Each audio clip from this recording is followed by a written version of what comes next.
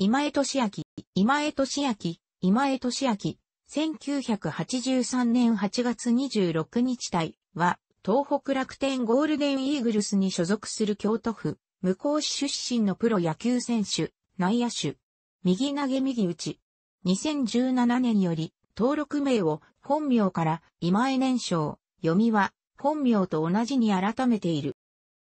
少年野球チームは、紅葉オックスに所属。中学3年生の時には、全日本中学野球選手権大会ジャイアンツカップで全国優勝を果たすと、ボーイズリーグの世界選抜として世界大会でも優勝。PL 学園校で1年生時から4番に座り、2000年の夏の甲子園に出場、3回戦で敗退。当時の同級生には、浅井秀樹、桜井光大、小西祐介らがいる。また1学年上に中尾敏弘がおり、二遊間を組んだ。高校通算本塁打は30本。2001年の NPB ドラフト会議で、千葉ロッテマリーンズから3巡目で指名。契約金7、500万円、年俸720万円、金額は推定という条件で入団した。入団当初の背番号は、PL 学園高校の先輩にあたる徳、津高博が、ロッテの外野手時代に着用していた25。には、4月28日に、地元、関西の大阪ドームで開かれた対、大阪近鉄バファローズ戦9回表に、代打で一軍デビュー。同月30日の対福岡大英ホークス戦、千葉マリンスタジアムでは、遊撃手として一軍初のスタメン出場を果たした。その後に一時出場選手登録を抹消されるが、抹消後は二軍のレギュラーを獲得。後半戦に再び一軍へ登録されると、9月30日の対西武ライオンズ戦、西武ドームで一軍初安打。一軍公式戦全体には15試合に出場。通算25打席で打率200という成績ながら2打点を記録したほか、5安打のうち3本が二塁打であった。2は、イースタンリーグの選抜選手として、フレッシュオールスターに出場。1から3で迎えた8回裏1四満塁の打席で、走者一層の逆転三塁打を放ったことから MVP に選出された。しかし、一軍公式戦には5試合の出場で、6打数2安打、打率333、1、2塁打という成績にとどまった。は、遊撃手のレギュラーに小坂誠がいたため、強肩を活かして外野手へのコンバートを打診されたが、内野手をやりたいという自身の希望で三塁手にコンバート。6月から初芝清やマット・フランコらと三塁手のレギュラーを争う活躍を見せ、6月にはプロ初本塁打を記録。しかし、投球を手に受けたこと、スイングしていたため、判定はストライクによる故障により41試合の出場に止まる。は、背番号を、かつて、ミスターロッテと呼ばれて三塁手でもあった、有藤道代が背負っていた8に変更。9番三塁手として、初の開幕スタメンを果たす。三塁手として、レギュラーに定着すると、一気にチームトップとなる132試合に出場。球団史上歴代5位となるシーズン22試合連続安打を記録。8月の月間打率は4割を超え、一時は打率がリーグ1位に、その後も調子を維持し初の規定打席と3割に到達。またこの年のパリーグ最多に塁打となる35に塁打を記録。リーグ優勝時はチームが内野手をすべて使い切ったため三塁を初芝清に譲り、二塁で優勝の瞬間を迎えた。日本シリーズでは第1戦、第2戦で8打席連続安打、シリーズ打率667と新記録を達成し、日本シリーズ MVP にも選出される。こうした活躍を高く評価され、三塁手部門のベストナインと初のゴールデングラブ賞を受賞。開幕前の3月に第1回 WBC の日本代表に選出された。この大会では5試合に出場し4打点を挙げ、世界一に貢献。シーズンでは前半は2番に起用されることが多かったが、調子の波が激しく打撃が安定しなかった。三塁のレギュラーは守ったものの結局最後まで不調に終わり、打率を大きく下げた。最後のパリーグ東西対抗にて3ランを含む3安打で MVP となる。この年も連続でゴールデングラブ賞を受賞2回目。は5月に左手有効骨を骨折したのもあり、前年同様の打撃不振に陥り打率249とさらに下げた。打順はほとんど8番か9番。また、故障により守備面でも不安があり堀光一や小野、武士にポジションを折ることもあったが、ゴールデングラブ賞を3年連続で受賞。は、全2シーズンと打って変わって打撃好調を維持し、9月7日までに打率309、12本塁打、55打点を挙げるものの、同日の対ソフトバンク戦で、水田明夫より、右上腕へ支給を受け右尺骨骨折し、登録抹消。結局一軍復帰を果たせぬままシーズン終了となった。また、この年は本塁打も2桁を記録するなど打撃は好調だったものの守備では若干成績を落とし、特に沖縄札と併殺参加数は前シーズンまでと比べて少なかった。併殺参加数は2006年はリーグトップの24個だったがこの年はリーグ最小の4個しか記録できず、ワースト2位の草野大輔も13個記録していることからも少なさがわかる。ゴールデングラブ賞を4年連続で受賞。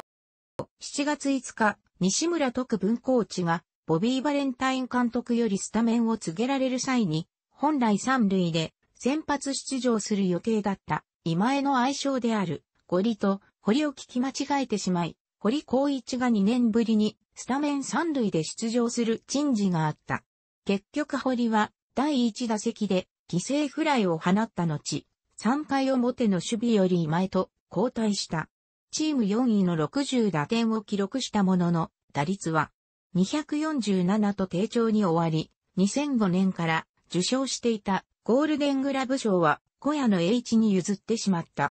はシーズン序盤は9番打者であったが、荻野隆の故障後は2番に抜擢され、自己最多リーグ3位の犠打数を残した。シーズン終盤は清田育弘が2番に定着すると、5番や6番を任された。打率はリーグでも3位の331と好調、本塁打を除いて自己最高のシーズンを送り、チームのクライマックスシリーズ進出にも貢献した。日本シリーズでも打率444を記録し、2度目の日本シリーズ MVP を獲得した。は、チームの首相に就任。一軍公式戦では、通算136試合の出場で、6本塁打、打率253、47打点を記録した。は、首相の座を岡田隆文に譲った。5月15日の巨人戦では、プロ入り後初の4番打者に入ると、そこからは4番に定着。本塁打こそ年間10本とクリーンアップとしては少なかったが、打率は325パリーグ2位、守備率も三塁手、リーグ1位の969を記録し、攻守にわたりチームのクライマックスシリーズ進出に大きく貢献した。この年には海外 FA 権を取得したが、シーズン終了後の球団との契約交渉では、権利を行使しないまま新たに2年契約を結んだ。は、ふくらはぎの筋膜炎で開幕に間に合わず、4月1日の本拠地開幕戦から1軍に復帰した。しかしわずか2週間後に、腰痛で登録抹消となるなどシーズンを通して、体のコンディションに苦しみ、打撃も前年に比べて安定せず、2番から9番まであらゆる打順で起用された。2はオープン戦で打率313を記録。また、前年のシーズン中盤から4番を打っていたアルフレド・デスパイネが4月中旬まで母国、キューバの国内リーグに参加していた関係で、公式戦の開幕から4番打者を任された。その一方で、5月22日の対オリックス戦、ホットモットフィールド神戸では、8回表の打席で、佐藤達也から頭部に支給を受けて交代。佐藤は、吉本文弘球審らの危険球宣告で退場。翌23日の同カード、京セラドーム大阪では、本塁打。6月3日の大阪新戦、甲子園では単打を放てば、サイクルヒットを記録できる状況。詳細口述で、最終打席を迎えた、いずれも達成に至らなかった。さらに、7月14日の対ロッテ戦、京セラドーム大阪パッカイ表の打席で、岸田守から支給を受けて、左手を骨折。9月11日の同カード、QVC マリンフィールドで一軍に復帰するまで、約2ヶ月間の戦線離脱を余儀なくされた。なお、7月16日には、第1回 WBSC プレミア12の日本代表第一次候補へ選ばれた。しかし、最終ロースターに残らなかったため、11月開催の大会には出場していない。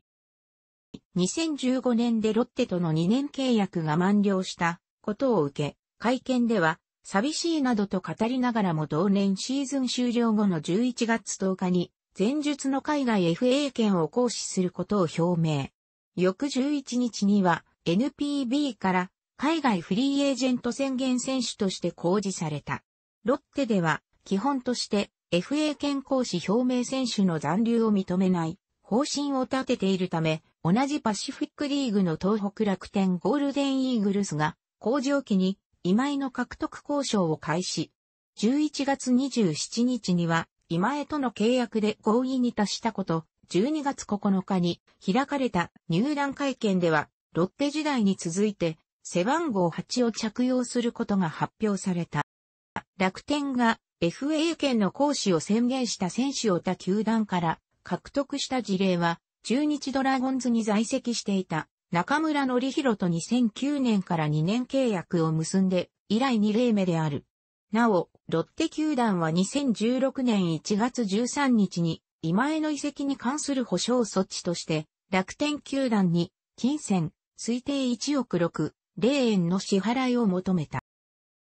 2は、ロッテ時代の2014年に発症した左ふくらはぎ痛が春季キャンプ直前の自主トレーニング中に再発。その後の検査で左ふくらはぎ筋炎と診断されたため、キャンプのスタートを2軍で迎えた。オープン戦の中盤から1軍に合流すると、公式戦では5月11日の埼玉西武ライオンズ戦、楽天コボスタジアム宮城で NPB1 軍公式戦通算302塁打を立ち、その一方で、前半戦には子宮による左尺骨の骨座傷や打撃不振などで2度にわたって一軍の戦線を離れた。後半戦では7月20日の対日本ハム戦、帯広の森の球場で一軍公式戦の移籍後初ボンダを記録すると、次の試合であった同月22日の対千葉ロッテ戦で古巣からの初本塁打を放っている。さらに、8月26日の対オリックス戦、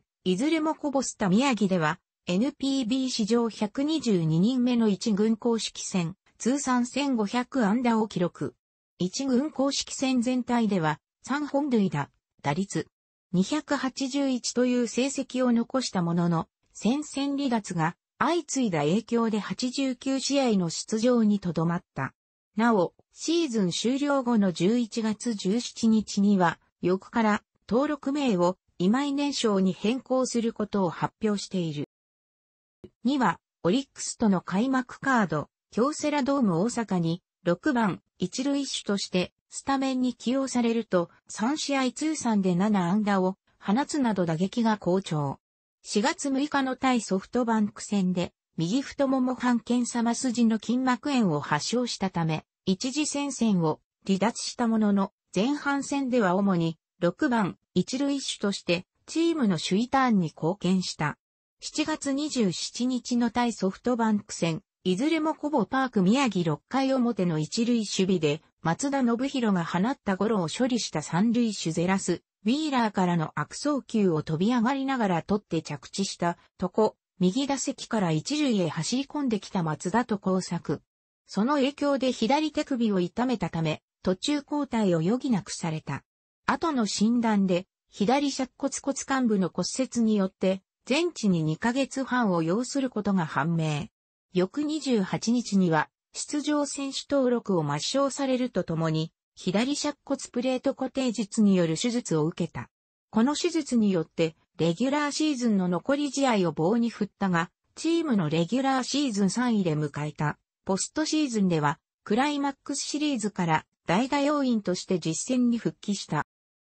2018年には主に4番打者として前半戦で打率3割をマーク。オールスターゲームにもパリーグの監督推薦選手として5年ぶり3度目の出場を果たすと、7月14日の第2戦、リブワーク、藤崎大野球場では、8回裏に代打で敵自打を放った。一軍公式戦全体では、ロッテ時代の2014年以来、4年ぶりにパリーグの最終規定打席へ到達。リーグ15位の打率、276、自身5年不利の10本塁打、49打点を記録した。シーズン終了後に3年契約の満了を受けて、望んだ契約交渉では、2016年2017年シーズンの低迷を背景に、NPB の年俸減額制限、1億円以上の選手の場合には、最大で40%を超える減俸を球団から提示。結局、この年に楽天への移籍後最高の成績を残したにも、かかわらず、推定年俸後0円、2億円の前年から75%減という条件で契約を公開した。広角にライナー性の強い打球を放つ打撃を持ち味とする。2008年にはボール球スイング率36.6%、翌2009年には同43.2%を記録するなど、ボール球でも強引に振りに行く積極的な打撃を見せ、それゆえに、支給は少ない。守備では三塁手として起用され、2005年シーズン、中盤まで、半身に構える、独特のスタンスで守備についていた。三塁守備は、打球反応や出足の速さ、グラブさばき、スローイングのいずれも高いレベルにあり、ライナー性の打球やフライに強く、2005年から4年連続でゴールデングラブ賞を受賞した。走塁面では盗塁の試行数は多くないものの、右打者ながら一塁到達まで3.85秒を記録するなど、全力疾走を怠らない。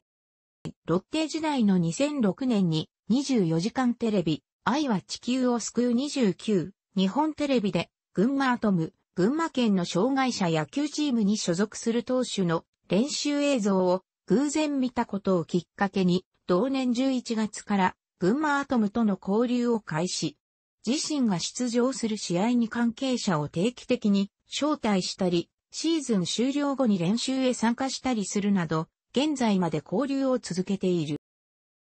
また、東日本大震災2011年では当時住んでいた千葉県浦安市内の自宅が液状化現象の被害を受けた。この経験に加えて、ロッテ球団の職員に被災地、福島県いわき市の出身者がいることか、現地の小中学校を定期的に訪問するなど、いわき訪問の活動を2011年以後毎年続けている。なお、いわきは東北楽天のチームメイトである内田康人の出身地でもある。現在では今井スマイルプロジェクトと称して、以下の活動も長期にわたって続けている。このような活動が評価されたことから、2015年のシーズン終了後には、第17回ゴールデンスピリット賞を受賞した。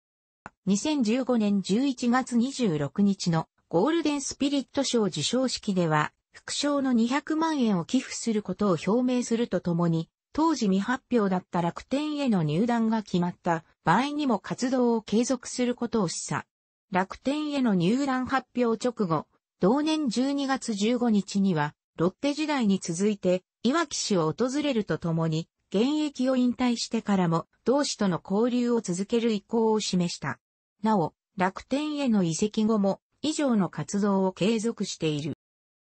楽しくご覧になりましたら、購読と良いです。クリックしてください。